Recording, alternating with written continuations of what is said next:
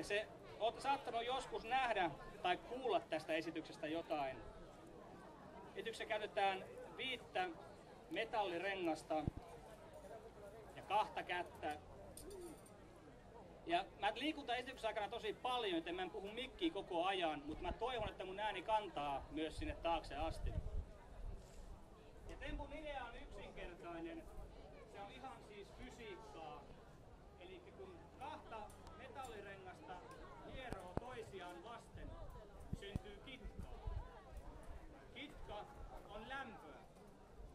Lämpö pehmentää metallia. Ja kun metalli pehmenee, niin se antaa periksi. Sen oikean määrän kitkan saamiseksi vie noin 10-15 minuuttia hieromista, joten odotellaan sen aikaa tässä.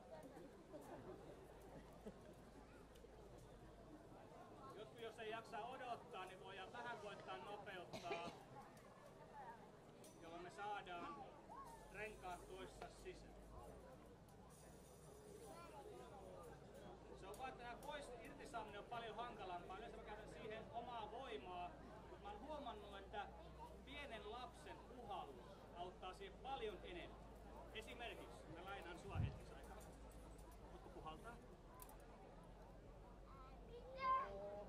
Se lähtee paljon pehmeämmin irti siitä.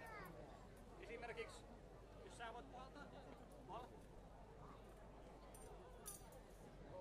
Me saadaan siihen kolme. Mä tiedän, että tykkää tästä. Se on tota noin niin, formula-auto. Ää, toki ne voi laittaa myös näin kiinni. Saan ne irti tällä tavalla käyttää voimaa, mutta se sattuu. Kuten huomaatte, se on paljon pehmeämpää, kun saadaan lapsen puhallus. Joskus me ei välttämättä tarvita edes käsiä. Joku epäilee, että niissä on jotain hämminkiä. Mutta jos kaikki tässä eturivissä olevat lapset tai vaikka takarivistäkin olevat haluaa, niin mä heitän nämä kaksi rengasta ilmaan, puhalletaan yhtä aikaa NYT nyt. Ja hyvä, että sain ne kiinni, ne on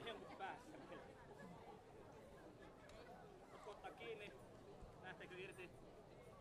Ei lähde. Mä en taju mikä siinä on, mutta tota noin niin... Kuva-arvoitus, kuka tässä on?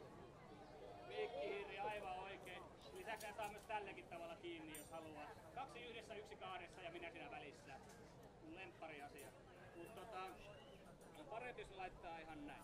Mutta koska mulla on viisi rengasta, niin totta kai kaikki odottaa, että se lopussa on viisi rengasta yhdessä. Plus eli T, nyt.